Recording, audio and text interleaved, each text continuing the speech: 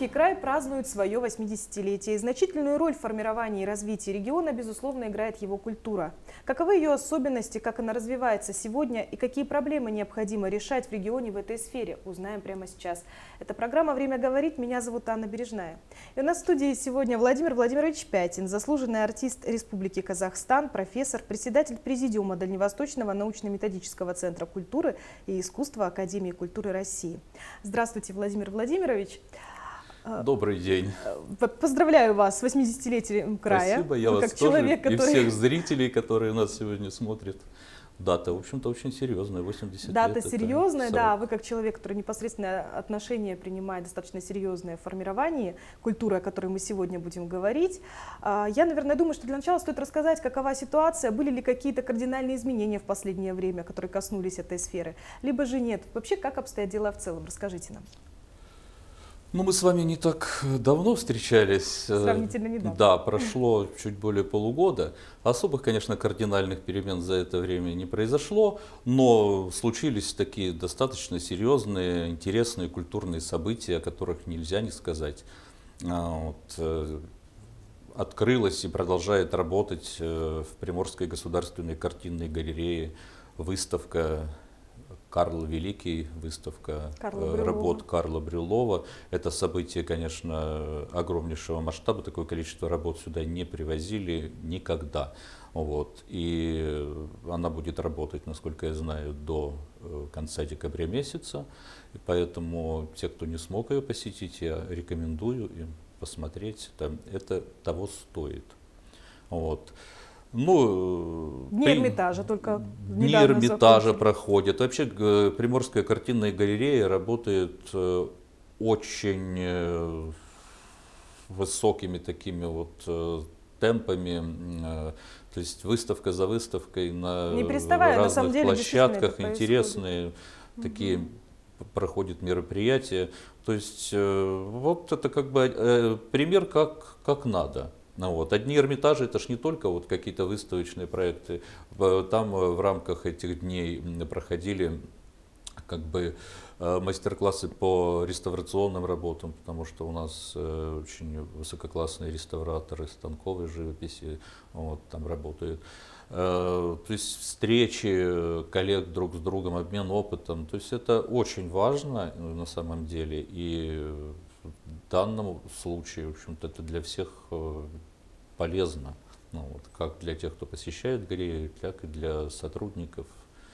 Вот. Э, ну, одно еще из важнейших событий, я думаю, что э, это окончательное решение о строительстве на Оксаковской от, э, центра театрально-выставочного и концертного зала Мариинского театра. От, там будут работать в одном комплексе зданий э, филиалы крупнейших э, российских музеев, Русского музея, Эрмитажа. Ну вот, э, Прозвучало, что это зал. вообще такая необходимость иметь этот центр здесь буквально. Ну да, это будет как бы первый шаг к тому, чтобы эти центры появились по всей стране. Следующий, по-моему, Кемерово там рассматривается. Вот это э, такой вот э, пилотный, если можно так назвать, проект. Э, Третьяковская галерея там очень активное участие принимает.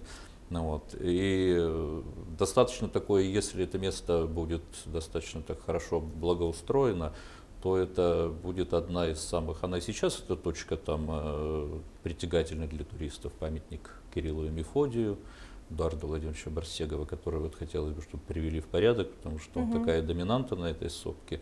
И вот он э, символ того просветительства, которое в этом месте будет э, находиться. находиться да.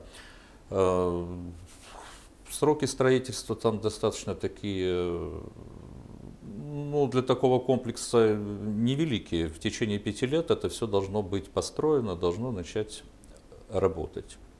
Будем надеяться, что при поддержке федеральных властей это все так, так и будет.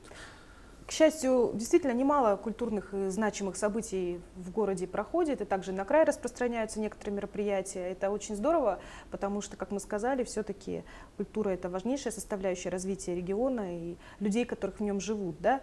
И мы не в такой, я думаю, патовой ситуации, как, может быть, некоторые города в стране-то находимся, потому что у нас-то как раз-таки подъем происходит некий в сфере искусства, в любой, причем абсолютно. Это, как мы сказали, Эрмитаж, это кинофестиваль, это фестиваль Это Мариинский, фестиваль Мариинский, безусловно, да, да, который в этом году был э, уникален своими э, спектаклями даже по протяженности. Тристана и Изольда пять с лишним часов публика э, была в зале, и это, это, в общем-то, такой марафон оперный.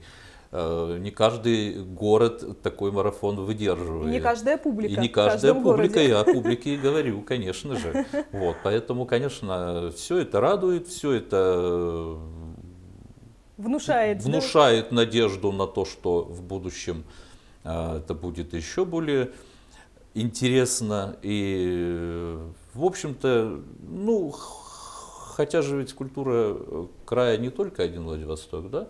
У нас в- на территории края масса ну, интересных таких мероприятий. У нас проходят фестивали народного творчества э, в большинстве а, таких крупных муниципалитетов. То есть э, это краевые фестивали, но они проходят именно на территории края. Люди едут не во Владивосток, а так скажем, вот Черниговские родники в Черниговке, играй гармонь, звени частушка в Спасском, вот, не в городе Спаске, а в селе Спасское. То есть жизнь кипит культурная в крае. Жизнь кипит. Фестиваль Люба в Арсеньеве, фестиваль казачьей культуры.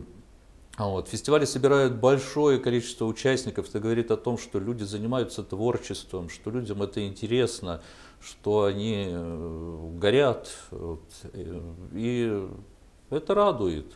Есть, конечно, там э, проблемы в плане финансирования там, ремонтных работ э, в той же Черниговке. Там э, ну, это все требует, конечно же, обновления, но постепенно и это делается. Вот, была программа по обеспечению а, музыкальными инструментами школ, она тоже как бы работает, происходит а, замена старых э, музыкальных инструментов на новые, но, к великому сожалению, вот э, качество этих музыкальных инструментов современных, оно гораздо уступает тем, которые были изготовлены в советские времена. И вот мы были в Черниговске, такой, да? да, там замечательный коллектив ансамбль Вишенка, вот, и а, руководители этого коллектива, вот, они, э, они говорят, вот новые балалайки привезли, а они не играют, а вот старая, ей лет 40 уже, вот она звучит, она играет. То есть тут проблема еще в этом. То есть возможно, что когда объявляют тендеры, выигрывают фабрики э, не, не- лучшие. У нас, хотя их осталось уже не так много в стране, поэтому я вот в данном случае о народных инструментах говорю. А, а такие инструменты, как нормальное фортепиано, э, пианино, а у нас же была своя фабрика пианино в Артеме. уже давно. Это те самые Приморье, да, Да, наверное, Приморье. Ее которые- давно уже закрыли, там сейчас филиал ДВФУ, по-моему, в этом здании. Вот.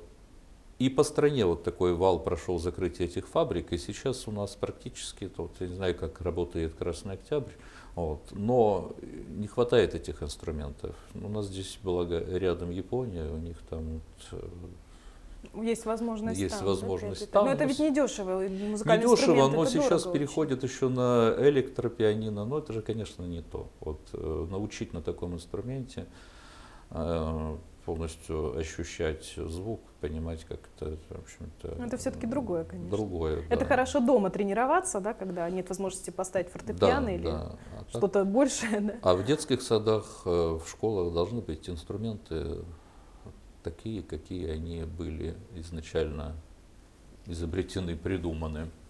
Одну из проблем мы сейчас озвучили. Я думаю, что найдется решение. Я предлагаю сейчас сделать небольшую паузу в нашем разговоре. Мы прервемся на короткую рекламу, а после продолжим. Оставайтесь с нами.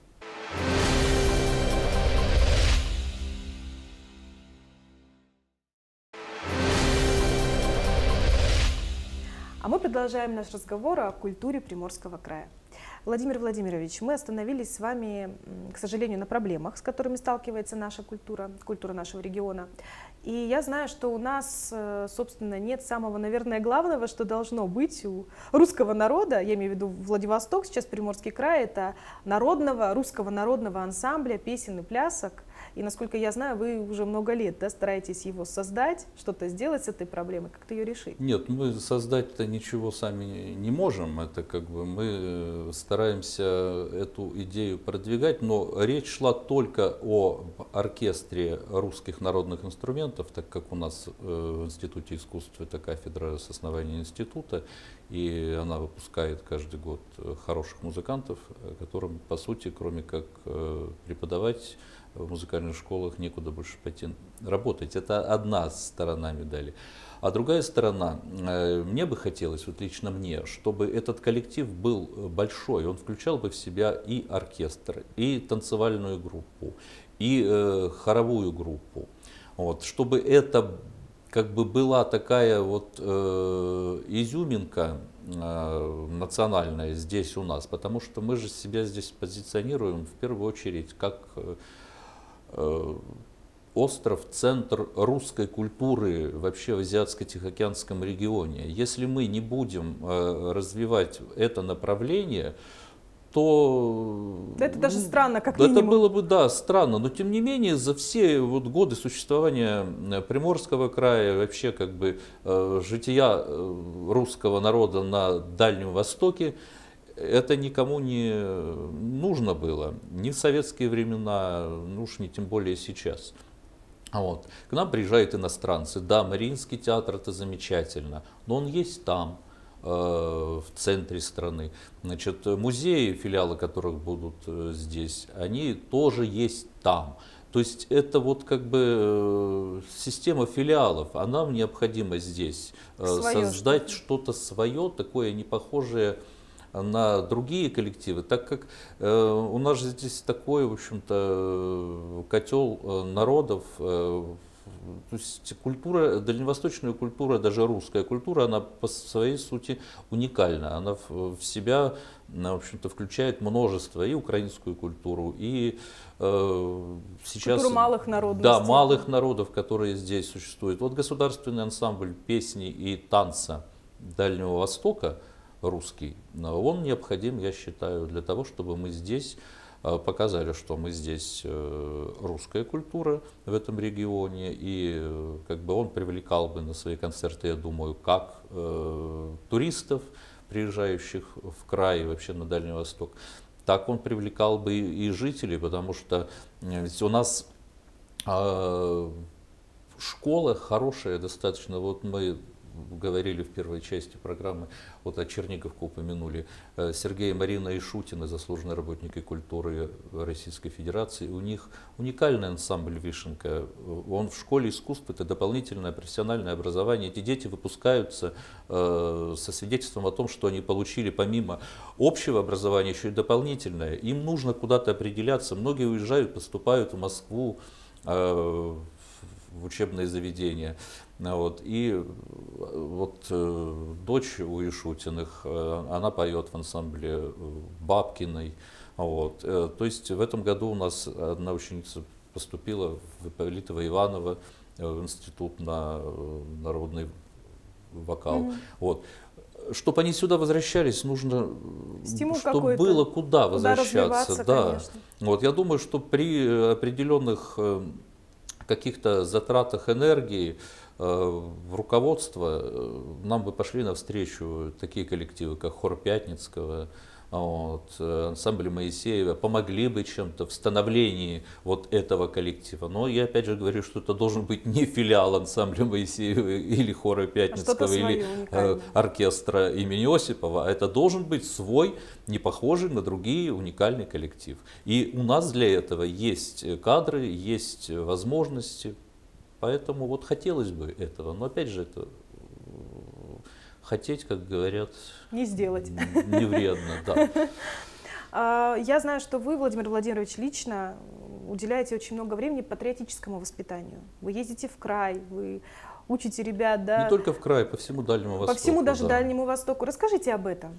Ну, программы наши вот на протяжении 20 лет, они не только патриотического направления были, они как бы просто э, такого музыкального э, развития детей, театрального. Но один из основных блоков, конечно, это вот патриотическое воспитание. Программа «Моя Родина Россия», я, я это моя программа, я с ней дал э, в пределах 2000 концертов, наверное, то есть э, во всех регионах это Дальнего очень Востока, очень много.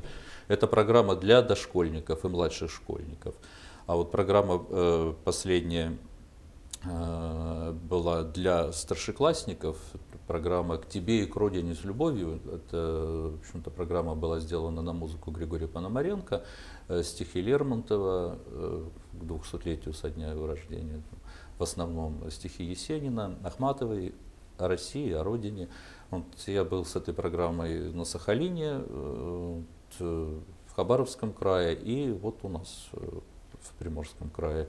В общем, она достаточно как бы вызывает такой хороший отклик у детей, но организационные вопросы, они не дают нам возможности так вот работать, потому что, ну, когда убрали это положение из закона об образовании и воспитании, органы управления образованием, они просто устранились от этой работы, они не хотят ничего делать, а, не хотят помогать, поэтому очень сложно не только как бы вот в этом направлении, а в направлении и просто вот э, деятельности филармонии, театра кукол, те, кто работает с учреждениями образования, это очень сложно. До них достучаться практически сейчас невозможно. Вот. Угу. Хотя э, в тех же детских садах проходят какие-то концерты, какие-то программы, непонятно, кто за этим следит, что качество такое, что потом э, просто воспитатели и родители говорят, ой, что это было, вот мы там деньги сдали. Ну так почему мы, живя в, в правовом государстве, не можем вот в, в правовое русло направить даже в отдельно взятом регионе всю эту деятельность? Потому что это, во-первых, э, приличный финансовый оборот, это, знаете ли, в общем-то, если даже брать по 150 рублей стоимость билета в этих детских садах, вот э, собрали 100 человек, это уже определенное. Это все идет мимо государства, мимо кассы, как говорят. Поэтому я считаю, что вот здесь, в Приморском крае, хотя бы нам нужно какой-то ну, положение или совместное, совместное принять между департаментом образования, концертными, театральными организациями, кто работает с этим, хотя бы наладить контроль за уровнем э, качества этих программ. Уже как бы за финансовой составляющей, пусть это налоговые органы следят, а вот за качеством программы и можно ли это показывать детям, и э, э, это дает им э, что-то или наоборот отбирает. Ведь мы же вот э, сейчас, имея здесь и филиал Мариинского театра, и имея наши театры, в прошлой программе говорили, прекрасные театры, мы же должны понимать, что зрителя нужно готовить. Э, сейчас в театре, посмотрите на лица среднее поколение, пожилые люди, а молодежи мало. А для этого существуют спектакли, которые, в общем-то, предназначены для детей, но что они уже туда приходят не в маленьком возрасте, а до этого в детском саду. Они должны быть подготовлены э, к посещению э, в десятилетнем возрасте, скажем так, сказки о царе Салтане. Они должны это все понимать, как нужно себя вести. Э, то есть контакт актера с, с этим ребенком. У нас доходит до того, что работают какие-то кукольные коллективы заезжие, у них фонограмма записана, текста, музыки. Вот они эту фонограмму нажали там на кнопочку, все там разговоры, диалоги, все звучит, значит, они под эту фонограмму, там куклы, там, э, что там дети делают, какой может быть здесь контакт э, артиста с Даже публикой, ну это, ну, ну, все бесконтрольно абсолютно, поэтому что хотим, то и делаем. Я говорю, у нас уже э, вот в этом плане, в плане гастрольной деятельности э, в учреждениях образования, у нас проходной двор Приморский край. Я был на Сахалине, там как-то побольше в этом плане порядка. Там без Министерства образования области ни в одно учреждение ты просто так не попадешь. А у нас заходи, что там привезли, сегодня обезьянка больная, завтра там, я не знаю, еще кто-то. Вот в этом надо тоже, это тоже ведь мы живем в государстве, которое должно исполнять свои функции и по контролю, и по э, каким-то э, оказанию э, помощи вот таким организациям, кто работает э, с детьми. То есть все это должно делаться, иначе мы придем к печальному результату, потому что ведь как говорится, враг не дремлет, и то, что идет э, с экранов компьютеров, э, телевизоров, это, в общем-то, не совсем, мы же прекрасно понимаем, что это на благо нашего государства и направлено на патриотическое воспитание граждан, скорее всего, даже наоборот.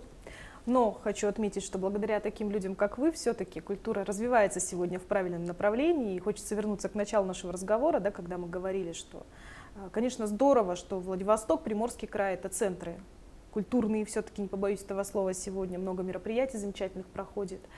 И я знаю, нам, к сожалению, пора заканчивать наш разговор, и знаю, что у вас есть поздравление к 80-летию Приморского края. Это песня. Да, может быть, расскажете пару слов о ней буквально? Это песня композитора Евгения Павловича Крылатова. Вот, э, песня о родном крае. Вот, и поэтому само название за себя говорит. Это с любовью к тем местам, где э, приморцы родились, где они живут, работают. И если даже покидают эти места, то они помнят о них всегда, потому что родину забыть малую нельзя. Владимир Владимирович, спасибо большое, что нашли время и пришли к нам сегодня. Спасибо за то, что вы делаете. Желаю вам успехов и развития, конечно, в сфере культуры Дальнего Востока. Спасибо. Спасибо. Ну, я еще раз поздравляю всех нас с этим замечательным праздником, 80-летием Приморского края. А я, в свою очередь, тоже поздравляю телезрителей и предлагаю посмотреть клип на песню Владимира Пятина. Это была программа «Время говорить». В студии работала Анна Бережная. Увидимся на восьмом.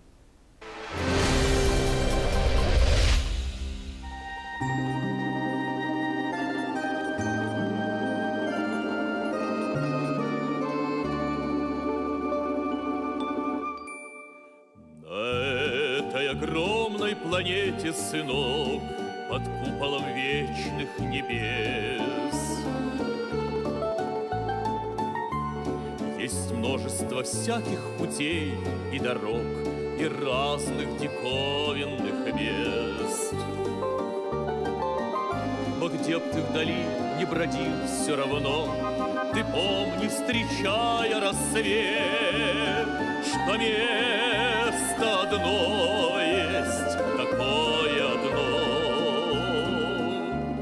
где ты появился, где ты появился, где ты появился на свет. Зеленые пальмы и белые лиды, и яркие краски морей. Быть может, увидишь и влюбишься ты проходит, поверь. Как быть и что делать, ты сам выбирай, Но чаще с течением лет Тебе будет сниться березовый край, Где ты появился, где ты появился? Где ты появился на свет. Ты песню сейчас о дорогах поешь, но время наступит, сын мой. Когда ты приедешь сюда и поймешь, что ты возвратился домой. Поймешь ты когда-нибудь сам, Что нет ни печали, ни бед, Пока тебя помнит хоть кто-нибудь там, Где ты появился, где я появился, где ты появился на свет,